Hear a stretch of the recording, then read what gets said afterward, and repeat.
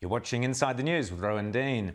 There was a terrific article in the Australian newspaper today written by former Labor Senator Stephen Loosley, who's also a writer with the Spectator Australia. The article talked about the strategic need for Australia to mend our relationships with the French following the fallout of the subs deal, the submarine deal, and the AUKUS alliance. I caught up with Stephen earlier and started asking him about how we have mended ties with the French in the past following a conflict? It's the uh, 80th anniversary of Australia's war with uh, France, with Vichy France, in uh, in Syria and the, the Lebanon in 1941, where Vichy displayed all manner of uh, collaborationist tendencies under Marshal Pétain. Syria and Lebanon were in a critical uh, geographical location given the Allied position in the Suez Canal and uh, in Iraq and and other places. So British strategy was uh, to uh, work with Free French forces, with British Indian and particularly Australian forces, to uh, to take Syria and Lebanon from uh, Vichy, which we did. And of course, the most uh, famous incident in the War so far as Australia was concerned was that Sir Roden Cutler, later very distinguished governor of New South Wales, won a Victoria Cross and, and suffered grievous uh, uh, wounds. 400 Australians died. But the, the question then needs to be asked, uh, Rowan, is after the war and uh, the disappearance of the Vichy regime, did it take us very long to rebuild relations with France? The answer is no. Democratic France revived, and over time, uh, with newly democratic Germany, the, uh, the European Union was built. So it's very much in our interest to remember our history and Absolutely. to think these issues uh, through uh, through clearly. I think it's in our interests and uh, and France's interests for relations to be rebuilt over time. It's not going to be easy, but we should make a start.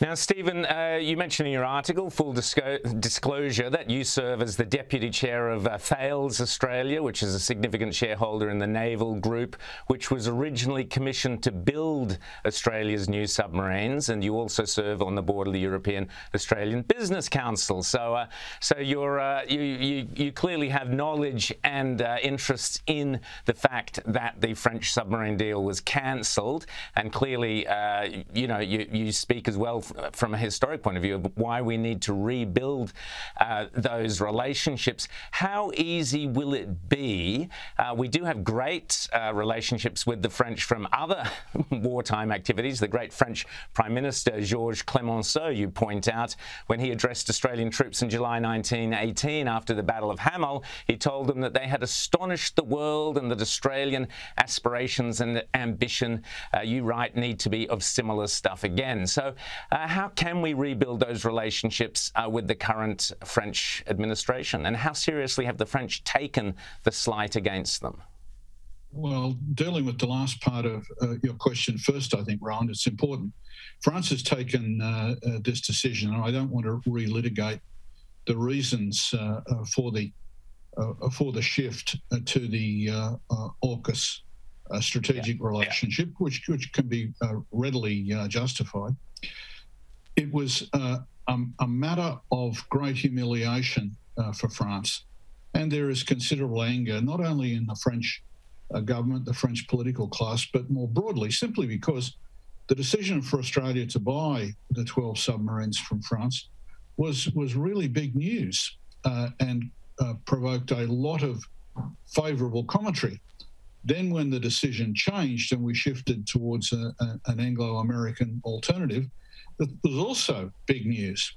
And there's a lot of negative commentary uh, about that. So I think realizing uh, this and realizing the significance of France for the future, I, I, I point out NATO is critical, the EU is critical, the role of, uh, of France in the Indo Pacific uh, uh, is critical.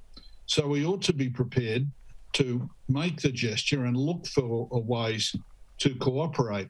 France will expect Australia to do that. And I think we should be confident enough in ourselves uh, to do that.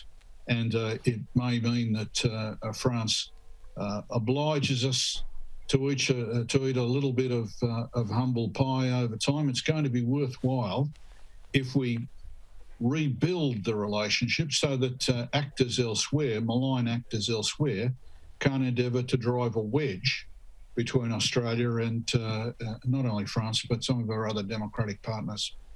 And on that last point, uh, Stephen, you refer to the dictators. Uh, presumably, you're referring to uh, China, Russia, and others. Uh, do you think? Do you see them uh, kind of seizing the opportunity to drive a wedge further between uh, two traditionally very close friends, Australia and France?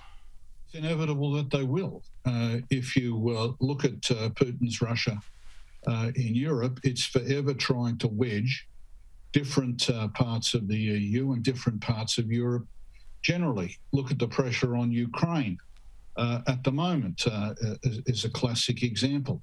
In this part of the world, where we're uh, uh, building new lattice work of relationships, I'm not only referring to AUKUS, but I'm thinking about the Quad, I'm thinking about the uh, reinforcement of ANZUS there will be uh, those in the region who don't welcome this. We've seen President Xi of China make some uh, negative observations uh, uh, very recently.